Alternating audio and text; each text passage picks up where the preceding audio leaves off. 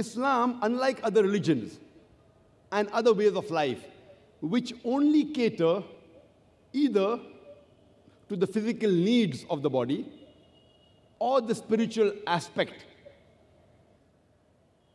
Most of the religions, they mainly cater to the spiritual aspects and the needs of the soul.